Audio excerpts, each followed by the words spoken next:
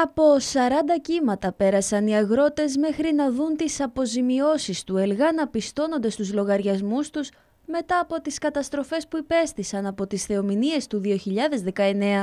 Σήμερα η παραγωγή τόσο του φυτικού όσο και του ζωικού κεφαλαίου έλαβαν το υπόλοιπο 35% των χρημάτων που δικαιούνταν. Πρόκειται για τις πρώτες αποζημιώσεις που καταβάλλονται από τον κρατικό προϋπολογισμό συνολικού ύψους 66,8 εκατομμύριων ευρώ ενώ οι πιστώσεις που αντιστοιχούν στους πληγέντες από τις περσινές θεομηνίες παραγωγούς της Κρήτης ξεπερνούν τα 1,8 εκατομμύρια ευρώ. Ποτέ δεν αρκούν τα χρήματα για τις δουλειές που έχουν υποστεί, αλλά είναι μια καλή ενίσχυση και μια καλή η, ανάσα για τον παραγωγό που δεν σοχάνει όπως λέμε εμείς στη γλώσσα μας η παραγωγή, δηλαδή δεν παθαίνει 100% ζημιά. Ποτέ, ποτέ η αποζημίωση δεν καλύβει το εισόδημα, ποτέ, αλλά είναι μια ενίσχυση που μας βοηθάει πάρα πολύ για να συνεχίσουμε και να κρατήσουμε το κεφάλαιό μας.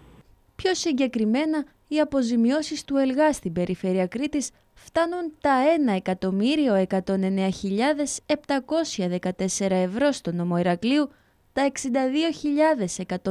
62.118 ευρώ στο νομό Λασιθίου, τα 87.497 ευρώ στο νομό Ρεθύμνου και τα 599.643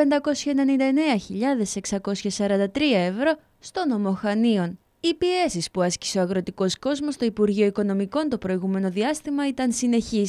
Η υπόθεση για την εξόφληση του 35% άλλαξε πολλές φορές κατεύθυνση σε τεχνοκρατικό επίπεδο, με τις αρμόδιες υπηρεσίες τη μία να κάνουν λόγο για εξόφληση του υπολείπου σε δύο δόσεις και την άλλη να αφήνουν τους μισούς από τους δικαιούχους για πληρωμή περί τα τέλη Αυγούστου.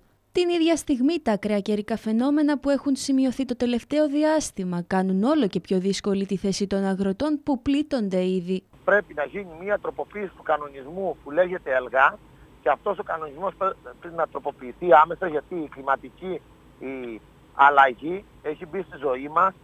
Τα ακραία καιρικά φαινόμενα είναι καθημερινά φαινόμενα πλέον και στο νησί μας στην Κρήτη, από τη μία άκρη του νησιού μέχρι και την άλλη.